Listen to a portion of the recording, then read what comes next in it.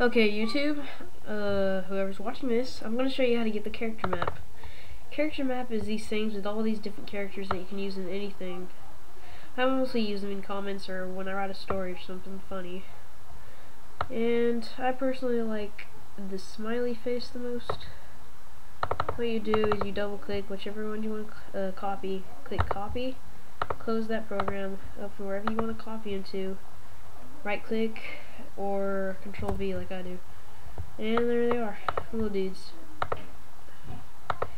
To get this on your desktop, uh, right click, new, shortcut, then type C H A R M A P, character map.